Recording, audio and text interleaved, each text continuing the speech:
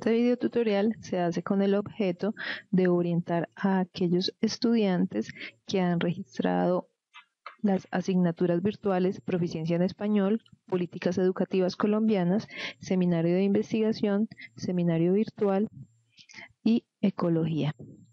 El objetivo entonces es indicarles cómo entrar a la plataforma para que puedan desarrollar eh, sus procesos formativos. Entramos al portal de la Universidad del Quindío y damos clic en el botón Plataformas Virtuales.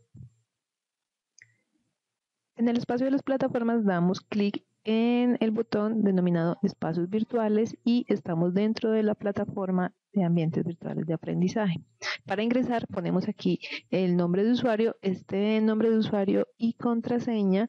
Eh, si el estudiante ingresa por primera vez, será entonces su número de documento de identidad, tanto el nombre de usuario como la contraseña.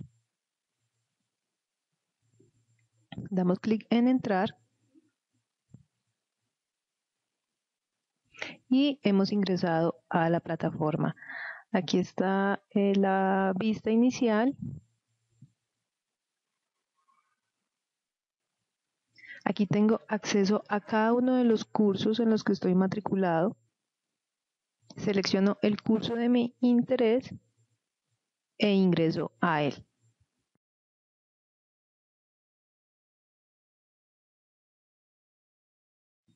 Ya dentro del curso ubico el botón que se llama participantes.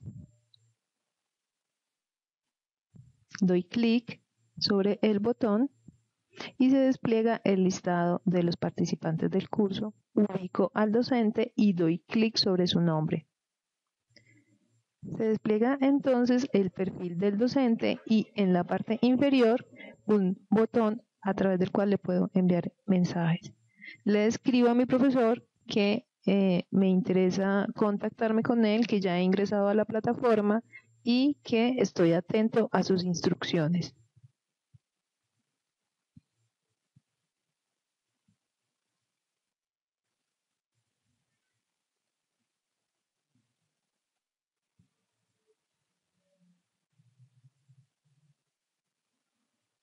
Doy clic en el botón enviar mensaje. Y este ha sido enviado al profesor. Vuelvo al curso dando clic en este link.